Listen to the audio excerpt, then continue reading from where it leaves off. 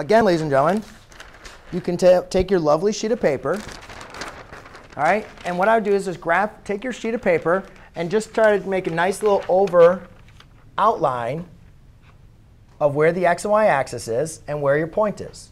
Now again, 180 degrees is rotating 90 degrees twice, correct? So I'll rotate it once, 90 degrees, and that takes me to right here, which we knew our point was there. Then I'll go and do it again. And when I redo it the second time,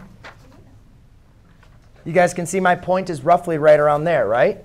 So now I would just kind of make a note of that point, make a maybe note. I would have maybe my outline. I'd have maybe tick marks on here, and noticing that's where exactly that point is. And then you guys go and look, and you can see, yes, that's exactly where my point is. All right.